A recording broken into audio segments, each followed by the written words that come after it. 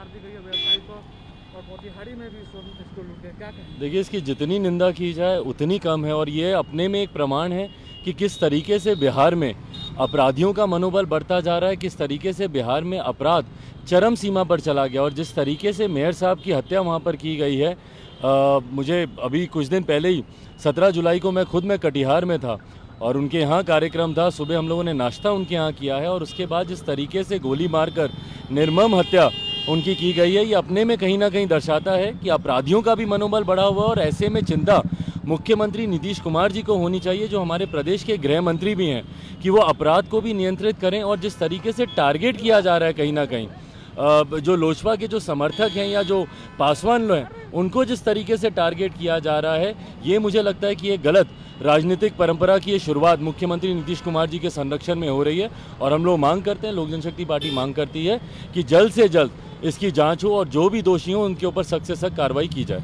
आपका population policy क्या opinion है? देखिए बहरहाल पॉपुलेशन को लेकर जब जनसंख्या कानून को लेकर जब बिहार में जब कोई ड्राफ्ट आएगा तो उसके ऊपर हम लोग आगे की हम लोग टिप्पणी करेंगे उसको पढ़कर। पर हाँ मैं इतना ज़रूर मानता हूँ कि जागरूकता इसको लेकर फैलाई जानी चाहिए। हम लोगों ने आखिरी बार हम दो हमारे दो हम लोगों ने सत्तर अस्सी के दशक में हम लोगों ने सुना था। उसके बाद से जागरूकता ही नहीं हुई है इसको लेकर। कोई भी कानून बना देने से कानून इम्प्लीमेंट नहीं हो सकता। बिहार में शराबबंदी कानून है क्या इम्प्लीमेंट हो गया? क्योंकि उसको लेकर जागरूकता नहीं है। अनुसूचित जाति जनजाति को लेकर कानून है पर आज भी इस तरीके की आपराधिक घटनाओं को अंजाम मिलता है सामाजिक तत्व जो दलितों के साथ शोषण करते हैं क्यों? क्योंकि जागरूकता नहीं है। तो हम लोग मानते हैं इसको कि जागरूकता होनी चाहिए और उसके बाद जनता के सुझावों के आधार पर कोई भी इस तरीके के कानून को लाया जाना चाहिए। धन्यवाद। थैंक